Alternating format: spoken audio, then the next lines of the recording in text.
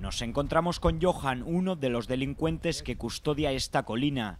En su cima se ubica la mayor fosa común de Caracas, conocida como la peste. Aquí las bandas armadas ejecutan a sus víctimas.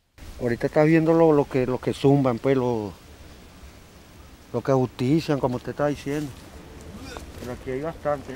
Por el suelo pisamos varios casquillos de bala, tanto de pistola como de escopeta. Aquí mira, ven los cartuchos donde los justician, mírenlo aquí, la escopeta. Aquí también se arrojan los cadáveres que los asesinos quieren esconder.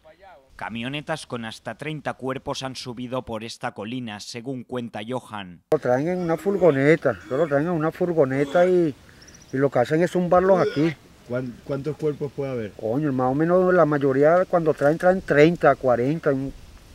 El olor aquí es insoportable, calculamos que hay más de 100, 200 cadáveres y por el olor eh, seguramente todavía sean eh, recientes, cadáveres recientes.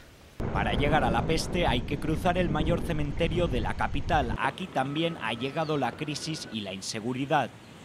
Acompañamos a Marcelo, uno de los muchos profanadores que saquean tumbas en busca de cualquier joya. La gente va buscando prenda, oro, objetos personales que entierran a la, a la difuntos. La policía apenas hace guardia en la entrada de un lugar santo tomado ahora por la delincuencia. La policía son las dos, tres primeras cuadras adelante, que es lo que hacen y que vigilancia. Y después lo demás para adelante que lo proteja Dios. Entramos al mausoleo de Joaquín Crespo, presidente venezolano del siglo XIX. Ni siquiera se respeta la sepultura de próceres y mandatarios. Ante tal abandono, muchas familias han dejado de velar a sus seres queridos por temor a ser robados. Tenemos miedo a que profanen a los malandros, esto está horrible, esto aquí es feísimo. Que tú pasaste hace ratico por aquí y no viste ni un policía, nunca se ve. No le pague a una persona para que nos limpie las tumbas y no las cuide. Es la única manera, porque imagínate.